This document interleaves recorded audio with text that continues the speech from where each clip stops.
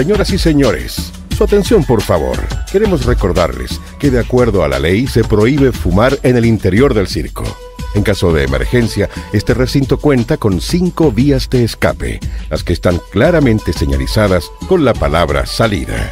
Por último, les advertimos la prohibición de grabar en parte o en su totalidad este espectáculo. Si es sorprendido, deberá atenerse a las acciones legales que determinará la empresa.